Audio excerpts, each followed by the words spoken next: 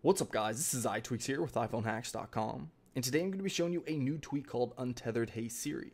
So if you guys didn't know on iOS 8 you can actually prompt Siri by plugging in your device and then saying Hey Siri. Then it's going to prompt Siri and then you can ask it a question. Well, with this tweak, you actually don't have to be plugged in, as you can see right here.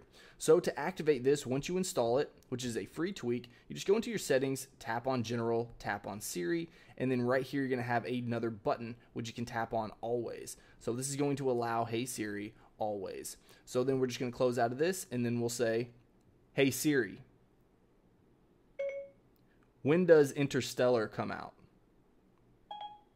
Interstellar was released today.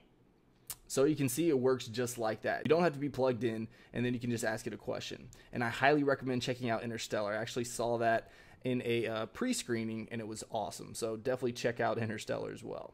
But if you want to check out this tweak, it is a free one that you can grab in Cydia right now. So go ahead and give it a shot.